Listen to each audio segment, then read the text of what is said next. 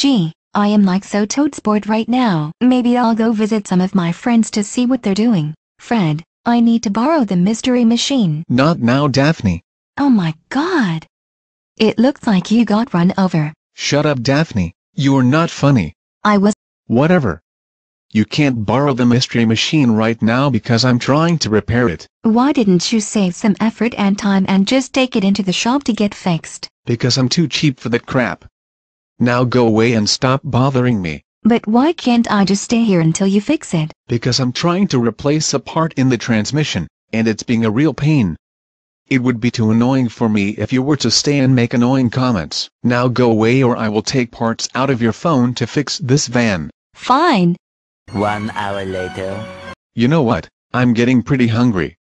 I'm gonna grill some steak and then come back to this later. Oh, come on. I'm bored once again. What could I do now? Oh, look. It's a blowtorch.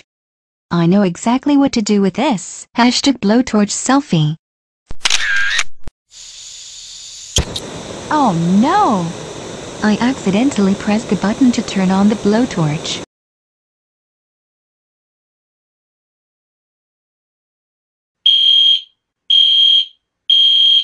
Zoinks.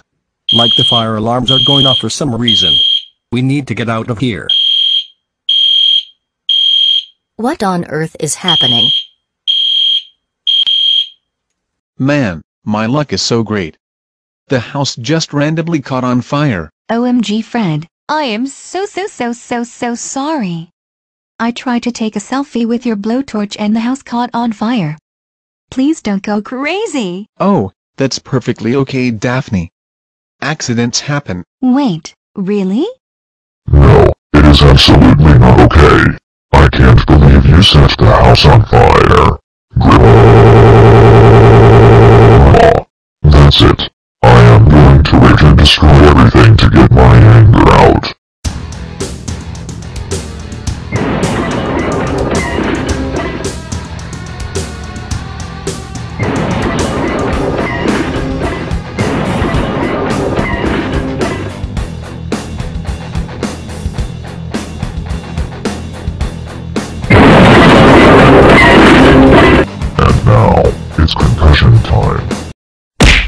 What the heck was that?